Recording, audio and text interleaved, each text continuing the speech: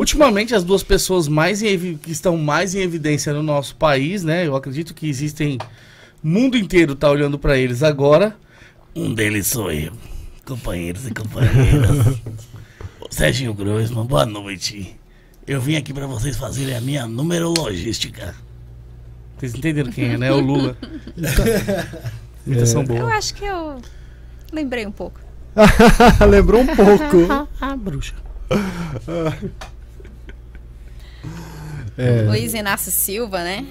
Hoje ele é conhecido como Lula, né? O, ele teve uma transição, isso é importante até falar, porque ele teve uma mudança de nome, né? Ele incluiu de uns, uns anos para cá, quando ele ficou muito conhecido como Lula, então ele, ele incluiu Lula. Lula no nome. Mas ele nasceu como Luiz Inácio da Silva, né?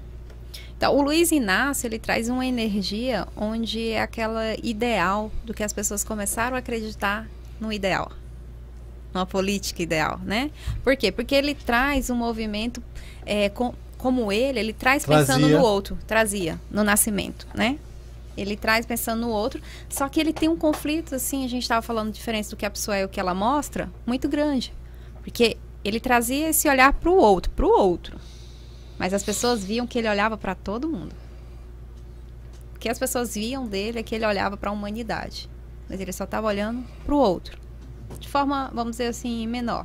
Trabalhando um, um, sentimento, um relacionamento, começando a perceber que existe algo além dele. A preocupação dele no, no início, quando aparece o nome Luiz Inácio Silva, esse nome traz o seguinte informação: de que ele se preocupa, que a alma dele quer conhecer o outro. Ele se importa com o outro. Tem um sentimento de realmente de amor pelo outro. Porém, a personalidade não está falando do outro singular. A personalidade está falando dos outros. Então o conflito fica entre a, o estudo.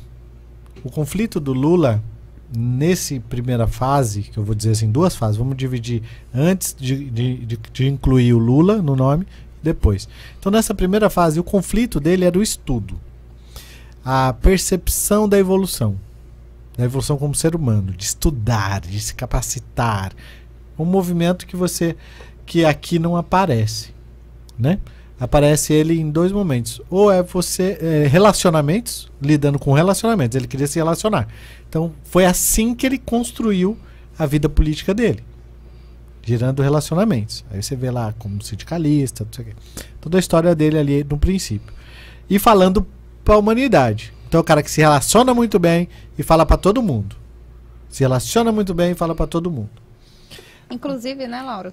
Ele, ele nessa primeira fase, ele, aquele talento que a gente falou que, que está guardado e que a pessoa mostra nos momentos de dificuldades, o dele era materializar.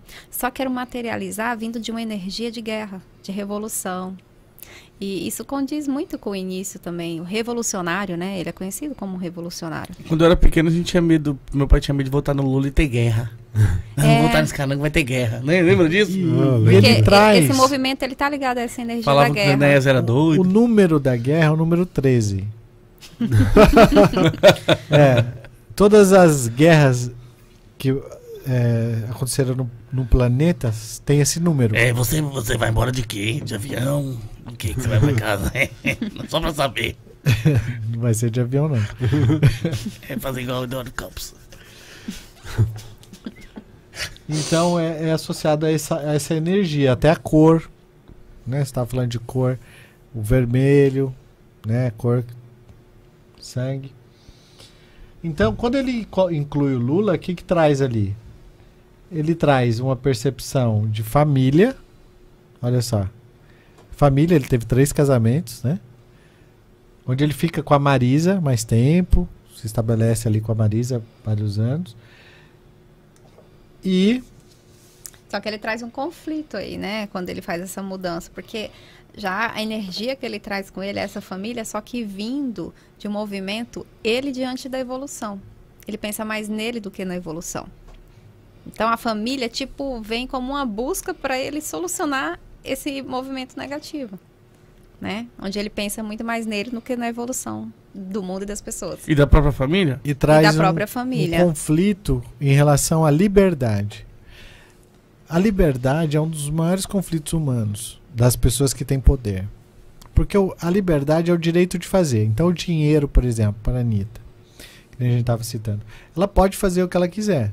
Mas tem um monte de coisa que, se ela fizer e outros fizeram, não deu certo. Você pega a história da Amy Winehouse, pega a história do Chorão, pega a história do líder do Nirvana. Eram pessoas que usaram a liberdade para coisas que não, foi, não foram produtivas para a vida deles. O poder fazer? É, esse poder fazer.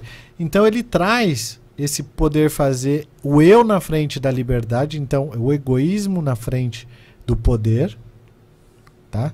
E traz também o egoísmo na frente do amor. Por isso que você vê nos, nos, nos vídeos que circulam na internet aí, ele falando que, ah, eu falava números, a gente achava bonito falar esses números e falar disso, das pessoas. né? Ele manipulava um pouco os números pra, porque ele Pra tem chamar uma, atenção, né? pra chamar atenção, exatamente. Ele tem um poder muito grande na fala. Tem mesmo. Ele é extremamente poderoso. É como se ele tivesse um superpoder em relação à fala. Ele consegue materializar, fazer as pessoas que estão ali ouvindo ele, né, Inclusive, né, ele aceitarem as informações que ele traz com muita facilidade. e ele traz esse poder fazer é, na medida que ele evoluiu o relacionamento com o outro na primeira fase, né? Então as pessoas veem ele como família, mas vê pela comunicação, não pela prática, pelo que ele fala, Mas porque ele muda, ele traz esse direcionamento para a família. olha só, quando você pensa no Lula, que Lila, você pensa no Lula e nos filhos, na esposa, você lembra de alguém? Não. Agora tá, não é defendendo não, mas quando você pensa no Bolsonaro, você já não lembra da esposa, problema com os filhos ou não, mas você já vê o Bolsonaro mais como uma figura de, de um representante de família. Eu não consigo, eu não consigo ver o Lula como um cara de família. Se parece que ele é o Lula, é o Lula, tipo. Ele é uma pessoa só, tá ligado? É Exatamente, é porque o que ele mostra é uma coisa. E essa família, ela não vem no, no Luiz Inácio Silva. No, no Luiz Inácio Silva vem o que vem o, a, Relacionar-se. o relacionar-se com o outro. Esse outro são todos, são todas as pessoas, tá? E a humanidade. Então é um relacionar-se com a humanidade, com as pessoas. Então o eu, o eu é muito fraco. O outro, ele nem existe. No, no, no Luiz Inácio Silva, a Lula. mulher não, não existe para ele. A mulher, a percepção de mulher é uma é, é algo como se fosse um uma segundo os números, tá? Não, não conheço E o Lula. qual os números entendo. dele? Esse equilíbrio, né, entre o pensar, o sentir, entre o racional e o emocional. Ele traz na a gente chama- assim, biblioteca cósmica. Então é como o que que é uma biblioteca cósmica? Eu vou explicar para ficar mais fácil. É, são lições que um ser humano vai aprender na Terra.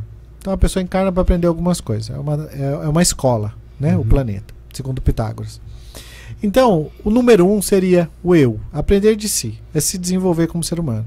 Número dois é aprender do outro, entender que o que você é não é o que o outro é. Que o que você sente não é o que o, que o outro sente.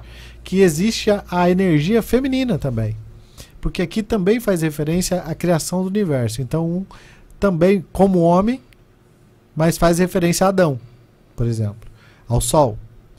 E a mulher, a Eva, a Lua, que é a mesma energia, digamos assim, é o mesmo, seria o mesmo espírito de criador do universo.